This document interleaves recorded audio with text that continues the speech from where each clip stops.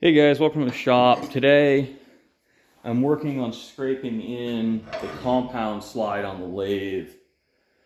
It's, I've been having some chatter issues and I figure scraping it might help because I'm probably not going to make it worse. If this doesn't work, all I need to do is surface grind a couple thou off, maybe even one, because I'm taking off so little at a time. So hope you like, comment, subscribe. Let me know what you think, and I'll try to explain the process as best I can. Now I'm using the wrong scraper for this. I really should be using a narrower one. I just don't have another carbide scraper. But I'm trying to take off the blue. And on this pass, I think all I'm gonna do is just break up the high spots. I'm not even gonna try and take all of it off because it's just, the juice isn't worth the squeeze right now. But when I started, I had blue barely here on three of the corners. And you can see I'm starting to get blue over here, which is good. So this is just really trial and error.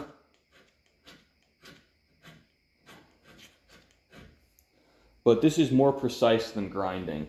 So what I just do is I have an acetone rag because I don't want phantom blue interfering with when I hit this on the surface plate. And just run your finger over it, feel for any burrs. This is cast iron, so it does, I haven't really noticed it burr. It kind of just fragments, which is great. It makes life easier because you aren't forced to stone between every single application. Now over here, this is my surface plate, which is a flat reference surface. So this is flat to a couple, couple tenths over the surface. But you slide it on. I like to spin it because this helps average out any errors in the plate. See, we got a little more blue on it. It's easier if I look through the lens.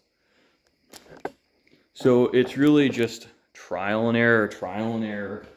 And I find this to be quite relaxing. This is a nice break from some of the faster paced, high energy stuff I've been doing.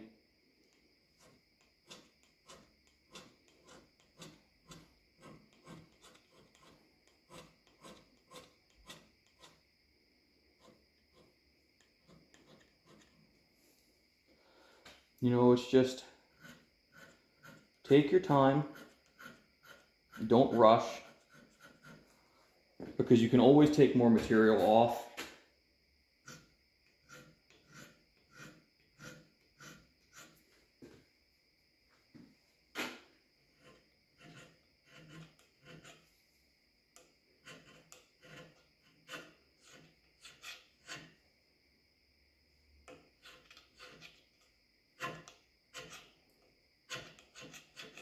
then you can tell I'm not very good at scraping. This isn't something I do a whole lot.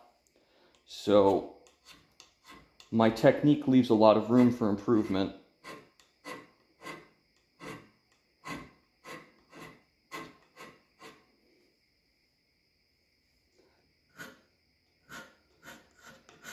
Now the goal here, and I'm gonna stop just because, again, I'm an amateur. I have other things to do. This machine isn't making money while it's shut down like this. I just want to see blue to here on all four corners.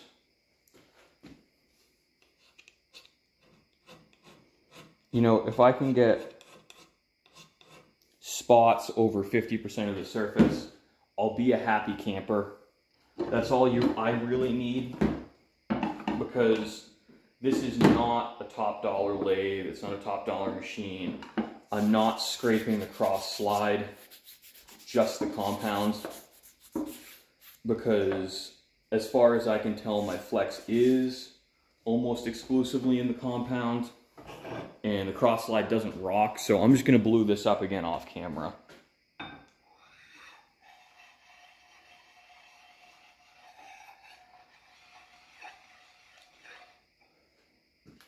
So see, our contact pattern just moves a little bit every time. And I took too much off here, so you see how little contact we have. I think what I'm gonna do is just pass through that and not take all of it off.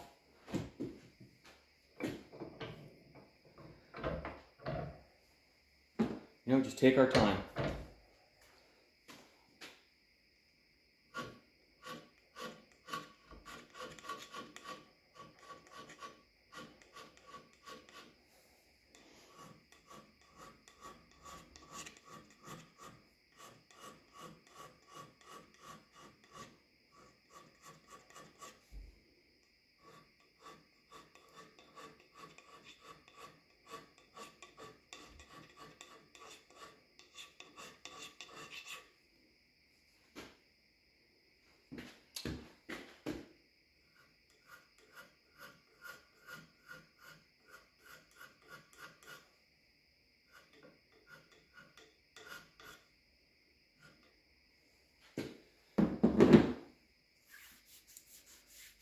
So as you can see, I mean, this is a small area, which makes it, I think this is a reasonable starter project. I mean, I, I've done this probably three or four times in my life, but this is small enough. If it goes sideways, I can grind it. Um, I would prefer to just do it this way because this is the least invasive and I can correct mistakes. With grinding, I can't afford to make mistakes. So, you know, I hope you guys found this a little bit informative. This is just one technique for getting very flat surfaces. So thanks for watching, guys. I hope you enjoyed.